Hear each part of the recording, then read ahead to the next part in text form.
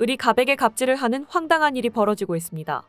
폴란드가 2차 무기 도입 계약을 해주는 조건으로 자기네들 무기를 사달라는 요구를 해오는 걸로도 모자라 현재 도입이 진행 중인 FA50 48대 중 36대 도입을 취소하고 유로파이터를 도입하자는 주장까지 하고 있다는데요.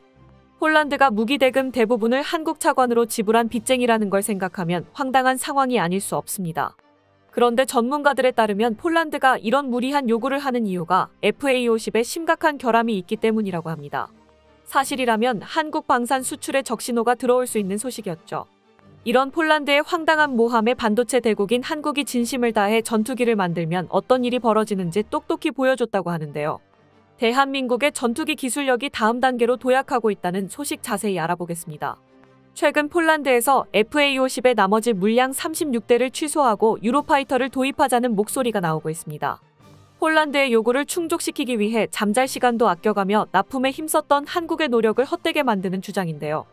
그런데 이러한 폴란드의 요구 뒤편엔 FA50에 대한 불만이 있었다고 합니다. 폴란드의 요구에 따라 FA50에는 기존의 기계식 레이더가 아닌 최신의 전투기들에 탑재되는 A사 레이더가 탑재될 예정입니다.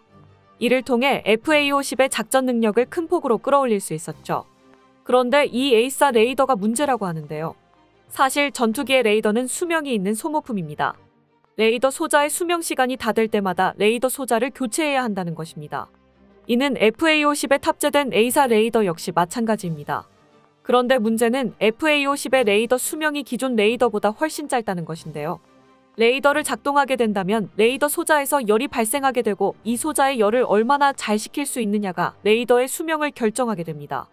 F-35, KF-21과 같은 중대형 전투기의 경우 레이더의 열을 액체로 식히는 수랭식 냉각 시스템을 탑재하고 있습니다.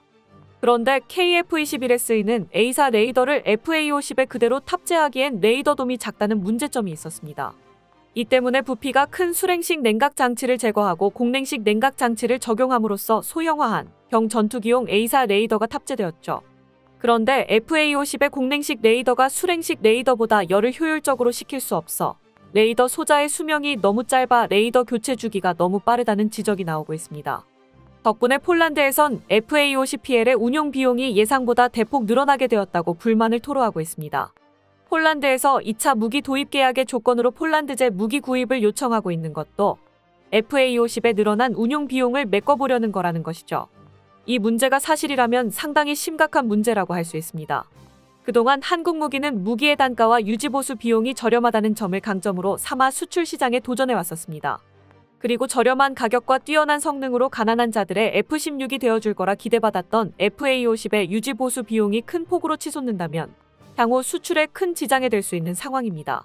그런데 한편에선 이번 문제가 한국을 탓할 게 아니라는 말도 나오고 있습니다. 문제가 된 FA-50의 A사 레이더가 한국산이 아닌 미국산이기 때문이죠. FA-50에 탑재되는 AESA 레이더는 미국의 대표적인 방산기업 레이시온사에서 업계 최초로 제작한 compact AESA 레이더 Phantom Strike로 공랭식 냉각 장치를 통해 기존 AESA 레이더 대비 절반의 크기와 무게로 소형화된 것이 특징입니다. 본래는 FA-50 블록 20부터 현재 국내에서 개발하고 있는 소형 AESA 레이더가 탑재될 예정이었지만 폴란드의 긴급한 요청에 따라 FA-50PL 모델에는 미국제 AESA 레이더를 탑재하기로 결정했었던 것이죠. 즉, A사 레이더의 수명 문제를 한국에 따지는 건 아무리 봐도 번지수를 잘못 찾아온 느낌입니다. 물론 한국의 A사 레이더 역시 소형화했기 때문에 같은 문제를 일으킬 수 있지 않냐고 지적할 수도 있겠는데요. 실제로 LIG 넥스원에서 개발한 FA50용 소형 A사 레이더 역시 공냉식 냉각 방식을 채택해 기존 레이더보다 냉각 효율이 떨어질 것으로 예상되고 있습니다. 그렇다면 관건은 소자 자체의 성능에 달려 있다고 할 수 있습니다. 우선 AESA 레이더에는 기존의 실리콘 소자나 갈륨 비소 GaAs 소자보다 전력 효율이 월등한 질화갈륨 소자가 쓰이고 있습니다. 그런데 이 질화갈륨 소자를 생산할 수 있는 기술력을 미국과 일본에서 사실상 독점하고 있었고 군사적 활용성이 높은 기술이다 보니 구매조차 어려워 우리나라에서 AESA 레이더를 개발하는 데 걸림돌이 되기도 했었습니다. 질화갈륨 소자 제조 기술도 당연히 극비로 치고 있었기에 기술 공유를 받는 것도 불가능했죠. 하지만 다들 알고 계시다시피 한국의 특기는 주지 않는다면 알아서 만들어버리는 것입니다. 레이더 소자 기술 역시 반도체 기술에 속하기에 세계에서 다섯 손가락 안에 드는 반도체 강국인 한국에서 질화갈륨 국산화는 도전할 만한 과제였죠. 그리고 아니나 다를까 국내 연구진들은 순식간에 개발 목표를 초과 달성해버리는 성과를 내놓았습니다. 미국이나 일본 것보다 성능이 뛰어나고 수명도 훨씬 더 긴 질화갈륨 소자를 완성해버린 것입니다. 한국전자통신연구원은 국내 기술로 S대역 300W급 질화갈륨 전력 소자를 개발했다고 발표했습니다. S대역은 군사 분야에서는 A사 레이더에 통신 분야에선 5G 통신 기술에 활용되는 주파수인데요. 국내에서 개발한 300W급은 미국과 일본에서 생산하는 250W급 상용 질화갈륨 반도체 소자의 성능을 크게 뛰어넘는 수치입니다. 그리고 이 질화갈륨 소자를 이용해 레이더에 사용되는 고출력 전력 증폭기를 개발하는 데까지 성공했습니다. 기존 부품에 비해 전력 밀도는 최대 10배 증가하고 출력 소자 수명은 기존보다 16배 긴 5만 시간으로 대폭 늘렸습니다. 부품 교체 주기도 6개월 단위에서 5년으로 대폭 길어졌죠. 덕분에 KF-21의 A사 레이더는 목표 평균 고장 주기였던 600시간을 초과 달성해 660시간을 기록했고 현재 시점에서도 계속해서 향상되고 있다고 합니다. 국산 질화갈륨 소자의 장점을 적극적으로 살렸다는 사실을 알 수 있는데요. KF-21의 레이더 분해도를 살펴보면 발열 소자에 직접 냉각수를 보내는 것이 아닌 히트 스프레더를 통해 열을 바깥으로 전도시켜 외부에서 냉각시키는 구조를 가지고 있다는 걸 확인할 수 있습니다. 일반적인 냉각 장치 설계보다 냉각 성능이 낮아짐에도 이런 구조를 채택한 것은 소자의 발열을 걱정할 필요가 없었다는 것을 보여주고 있죠. 반면 현재 미국의 주력 전투기인 F-35의 경우 2016년 테스트 기준 고장 주기가 32.5시간에 불과했다고 하는데요. 이후 개선 작업에 들어가 많이 향상되었다고 하지만 고장 주기를 밝히지 않고 있는 것으로 보아 F-35의 유지 비용 상승에 한몫하고 있는 것으로 추정되고 있습니다. 그렇기에 FA-50의 국산 질화갈륨 소자로 개발한 국산 A사 레이더를 탑재한다면 폴란드가 주장하는 수명 문제는 발생하지 않을 거라고 자신할 수 있습니다. 그리고 이러한 레이더 소자 기술은 향후 한국이 6세대 전투기를 개발할 때 큰 자산이 되어줄 것으로 기대받고 있습니다. 얼마 전 KF-21의 레이더를 개발한 하나 시스템에서 KF-21과 복합 운용되는 무인기용 A사 레이더 개발에 착수했음을 발표했습니다. 6세대 전투기 기술인 유무인 복합 기술을 벌써부터 준비하고 있는 것인데요. 무인기용 A사 레이더도 소형화하면서 성능을 그대로 유지하는 것이 관건이었습니다. 한국에선 미리 기존의 소자를 뛰어넘는 성능의 소자를 개발해둔 덕분에 경쟁자들보다 유리한 위치에서 시작할 수 있게 되었죠.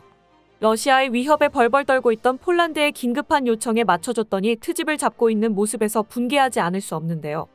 물에 빠진 걸 건져놨더니 보따리 내놓으라는 속담은 이럴 때 쓰라고 있는 거겠죠. 하지만 폴란드가 이제 와서 FA50 계약에 손을 떼지는 못할 것 같습니다.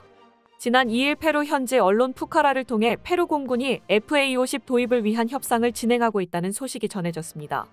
빠르면 이달 중 구매의 향서를 체결하고 연말까지 7억 8천만 달러 규모의 본 계약을 마무리할 것으로 알려졌는데요.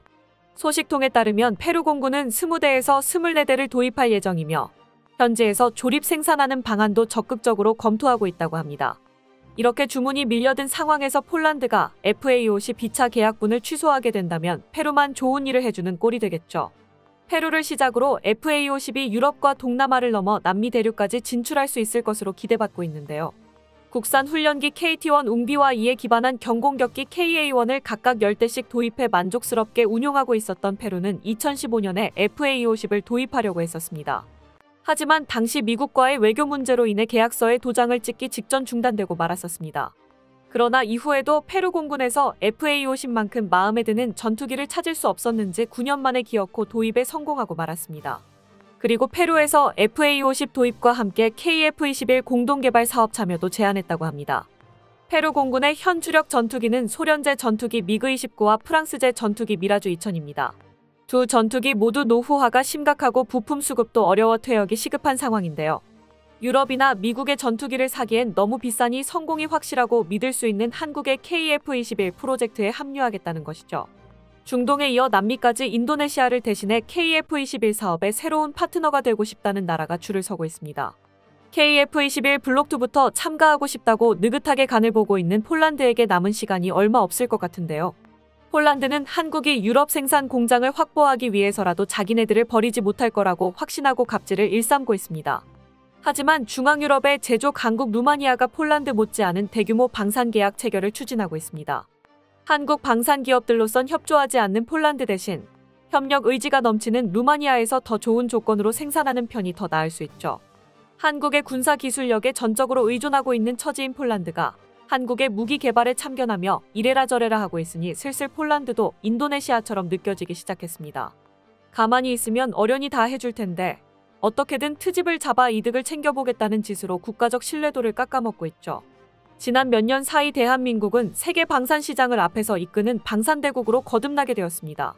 달라진 위치를 자각하고 더 이상 폴란드의 억지에 흔들리지 않고 단호한 태도를 보여주길 바랍니다. 끝까지 시청해주셔서 감사합니다. 도움이 되셨다면 좋아요를, 다른 이야기도 궁금하시면 구독을 눌러주세요.